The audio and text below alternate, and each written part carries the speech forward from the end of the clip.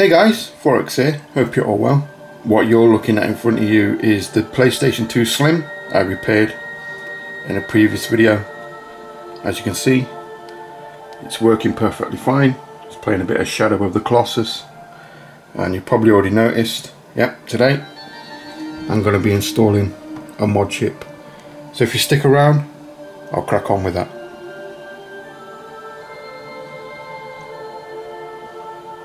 Class game. To get in a PlayStation 2 Slim is actually very easy, but first we need to remove six screws. Um, but before that we need to remove six covers that hide the screws and they are here, here, here, here, here and the final one is here. Remove those and you'll see the screws that you need to remove. That's the covers removed. Remove the screws now. There's one here, there's one here, there's one here, there's one here, there's one here, and the final one is here. Remove those and the top cover will pop straight off. What I want to do now is remove the actual main board. Uh, but first remember, I've got to remove this uh, power and lid catch sense because uh, I guarantee you'll forget and you'll take the board out and you'll rip it clean off the board. Done that. That's what I'm telling you. Yeah you may have noticed that I replaced the battery in this.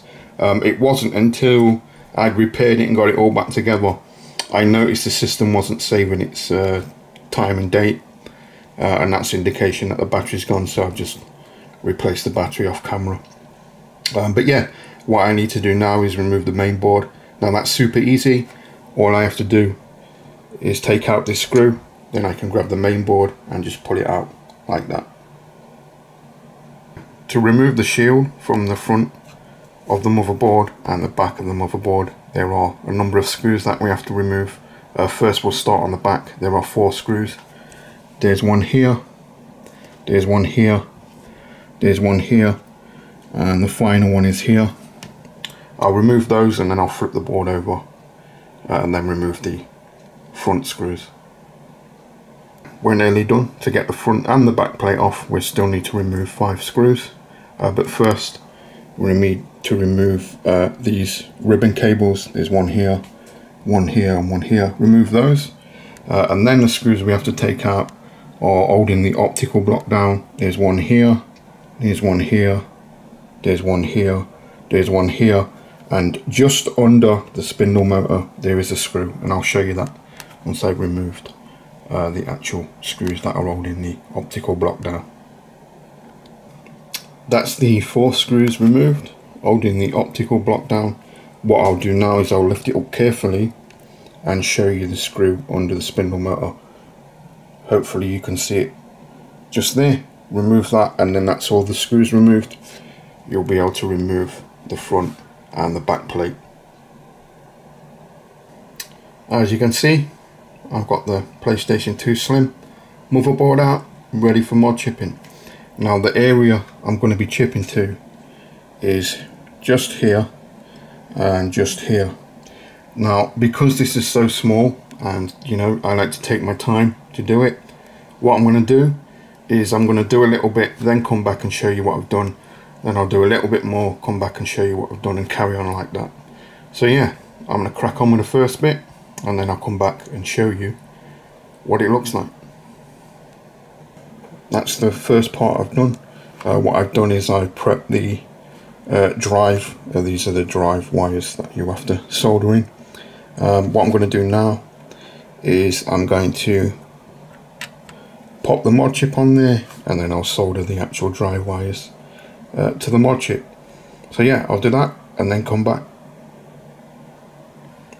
that's the drive and the clock signals all wired in.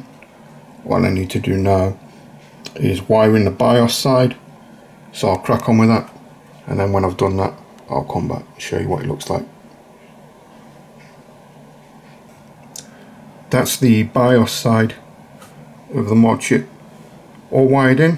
What I need to wire in now is reset ground and power and then that's the mod chip installed So I'll crack on with that and then come back. And as you can see, that's the mod chip installed. Now in this revision PlayStation 2 Slim, um, you need to install a laser fix. Um, what it does is it stops the laser burning out.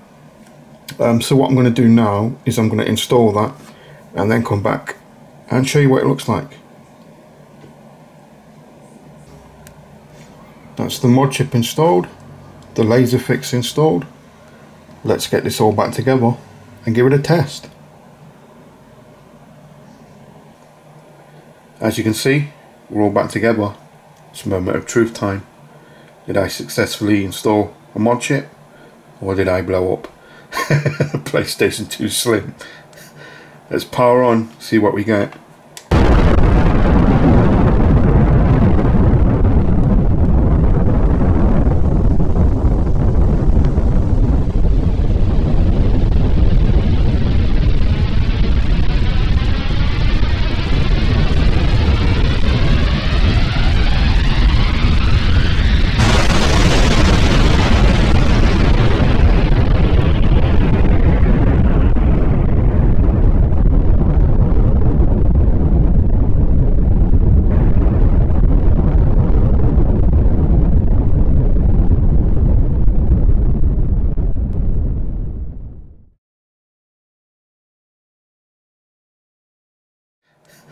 Let's power on, see what we get.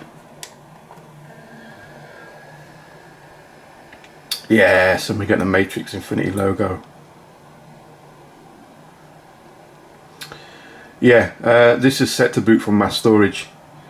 I've just remembered that. They do that at the factory. I don't know why they set it to boot from mass storage. Yeah, so I'm going to have to change the settings. I might as well show you how you do that. Uh, the way you do it is you power off a system and you hold triangle and circle down. And power the system on and you should get a boot menu. There you go. There's a boot menu. Now what I'm going to do is I'm just going to go through and change uh, the settings. So I want PS2 color fix to off uh, PS screen fix on PS multi-disc on uh, memory card patch on, ATAD auto patch on, Macrovision fix on, green fix on, DVD region Afferent 8 is region 3, DVD 9 dual layer support on.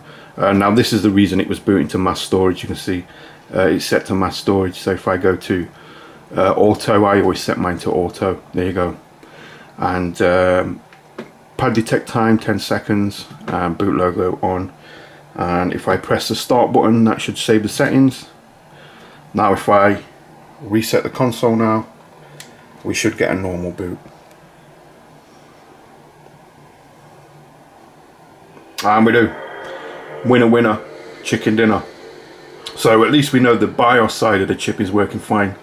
And what I'm going to do now is get a couple of games.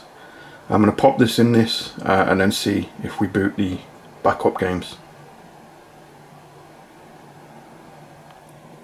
I've got a couple of burnt games. Um, let's start off with a PlayStation 2 game first. So let's open the lid. Got a bit of Ratchet and Clank, going commando. Love the Ratchet and Clank uh, series of games. Let's pop that in there. Shut the lid, power on, and hopefully we get a boot and it does look like it's booting. Sweet.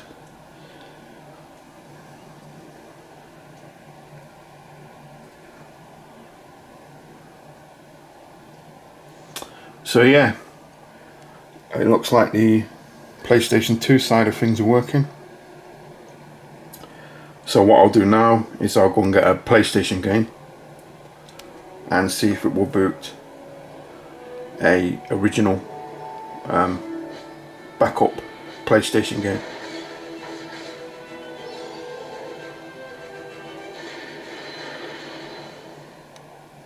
Winner.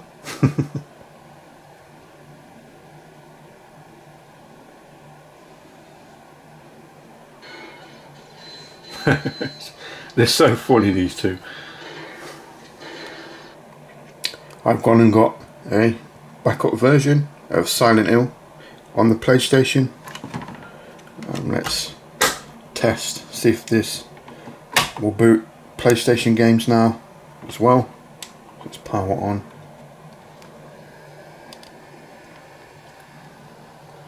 It takes a little bit longer to boot the um, PlayStation games um, because it doesn't go through the uh, complete boot process. It almost skips over it.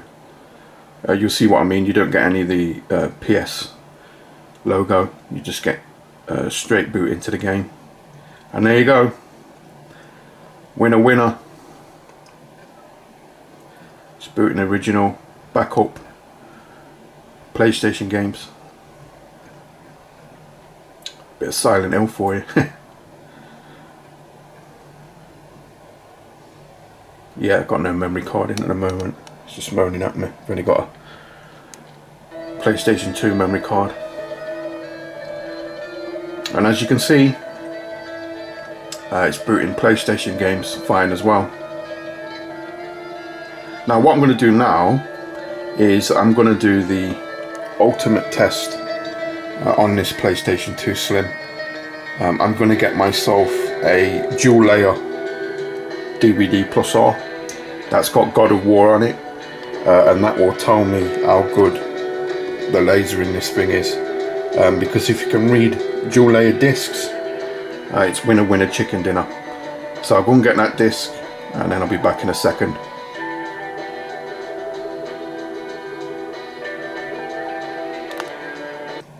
I've gone and got my backup version of God of War. You can see it's on a dual layer disc.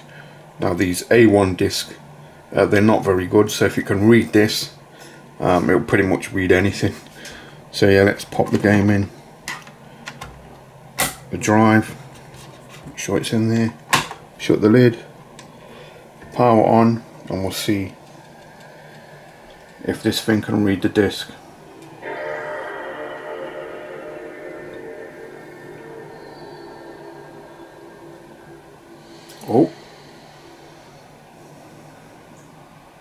Looks like we got it. What do you know? winner, winner. Wish my camera would focus. Come on, focus. I'm just gonna do that and then. There you go. God of War. It's working fine. Let's get the um, FMV on. I'll give it a proper test. The gods of Olympus have abandoned me. Looking good so far.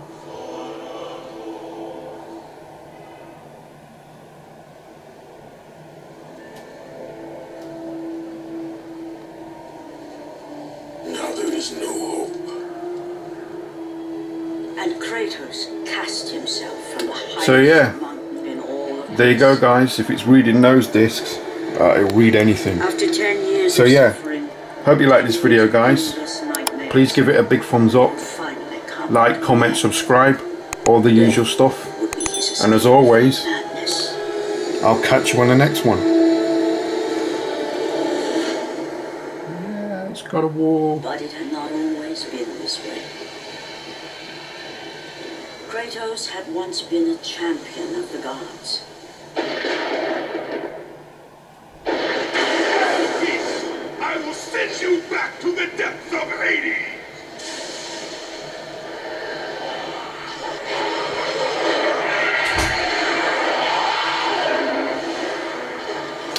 Catch you next time guys.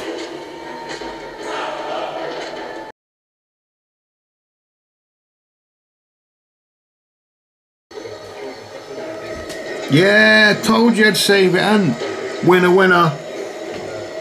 Cup fixed dinner.